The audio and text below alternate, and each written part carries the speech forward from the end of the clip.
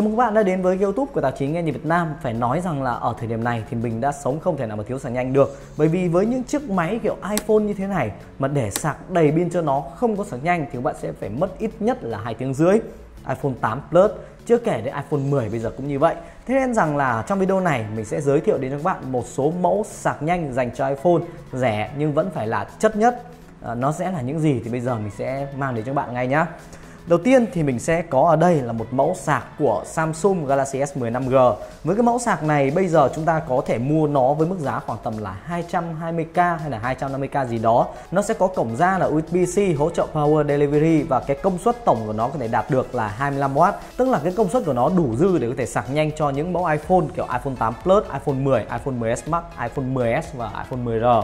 Bởi vì những chiếc máy này thì nó sẽ chỉ có công suất sạc nhanh là 18W mà thôi. Nên đây đã là đủ và và những cái cục sạc đến từ Samsung như thế này thì bạn có thể yên tâm về chất lượng. Nhưng nếu như cục sạc chỉ có một cổng USB-C như thế này mà chưa đáp ứng được nhu cầu của bạn thì mình sẽ có ở đây. Tiếp đến là một cục sạc đến từ ZMI và cái cục sạc này thì nó là một thương hiệu con của Xiaomi, nên là chất lượng của nó chúng ta cũng thể yên tâm. Với cục sạc đến từ ZMI này, ngoài cổng USB-C hỗ trợ Power Delivery thì chúng ta cũng sẽ có thêm hai cổng USB-A ở dưới đây hỗ trợ cho bạn sạc nhanh, tối đa là Quick Charge 3. Và với cục sạc đến từ ZMI này thì chúng ta sẽ có công suất tổng lên tới là 65W tức là nó sẽ lớn hơn rất nhiều so với cục sạc đến từ Samsung mà vừa nãy mình đã làm. Và mức giá của nó cũng sẽ chỉ chênh nhau khoảng tầm là hơn 100g mà thôi. Cục sạc này như mình đang check giá trên Shopee thì mức giá của nó sẽ có là 359 9.000 mình cũng đã sử dụng khoảng tầm là hơn một tuần rồi. Mình thấy là xài nó khá là ổn. Nhưng mà các bạn sẽ phải lưu ý một điều, đấy là nếu như các bạn chỉ sử dụng một cổng A thì chúng ta có thể sử dụng được Quick Charge 3 nhưng nếu như các bạn sử dụng hai cổng này để sạc cho hai thiết bị cùng lúc thì nó lại không kích hoạt lên được Quick Charge thì đây là một cái giới hạn mà mình thấy nó đang có trên cục sạc này. Giá như mà khi chúng ta sử dụng để sạc cho hai thiết bị, cả hai cổng USB-A này đều có thể sạc nhanh được thì quá là ngon rồi.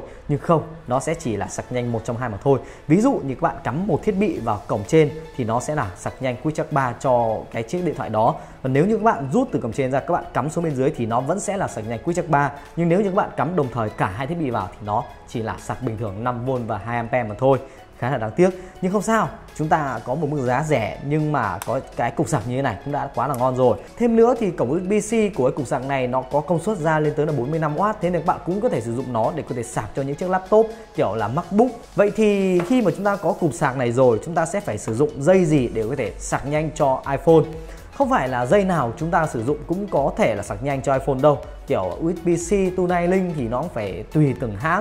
Ví dụ như là mình có mua một sợi cáp của Baseus với mức giá là 175k rõ ràng ngoài vỏ hộp có ghi là hỗ trợ sạc nhanh cái hộp thì mình vứt đi rồi nên là mình không thể sâu được cho bạn ở đây. Nhưng mà khi mà mình mua về thì cái cọng cáp Baseus này lại không thể sạc nhanh được cho chiếc iPhone. Thì đây là một cái điểm mà các bạn cần lưu ý không phải là sợi cáp nào cũng có thể sạc nhanh được cho iPhone.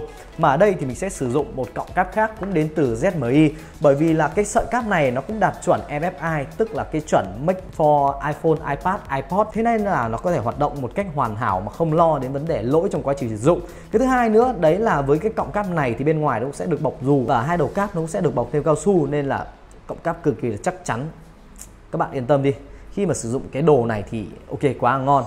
Và khi mà các bạn sử dụng cái bộ sạc nhanh này để sạc cho iPhone thì nó khác gì so với bộ sạc thường. Đấy là cái tốc độ sạc nó sẽ đẩy lên gần như là gấp đôi, gấp 3 lần. Bình thường khi mà mình sử dụng sạc thường để sạc cho iPhone 8 Plus thì từ 0% lên tới 100% mình sẽ mất khoảng tầm từ 2 tiếng rưỡi cho tới 3 tiếng.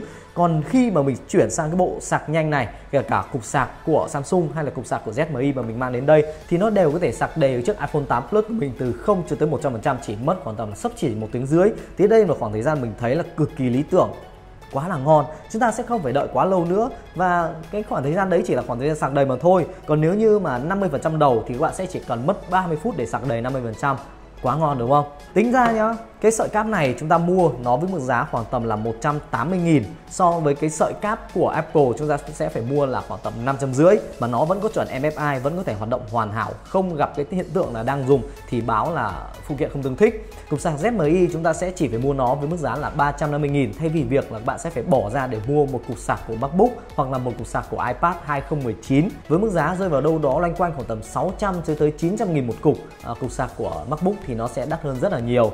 Thế nên rằng, với combo này, chúng ta bỏ ra khoảng tầm 500k đã có một combo để có thể sạc nhanh cho iPhone. Hoặc nếu như các bạn không cần thiết dùng hai cái cổng USB-A thì bạn cũng có thể lựa chọn combo đấy là cáp. ZMI và chúng ta sẽ có cục sạc Samsung này 220k và 200k chỉ khoảng tầm loanh quanh 400k mà thôi.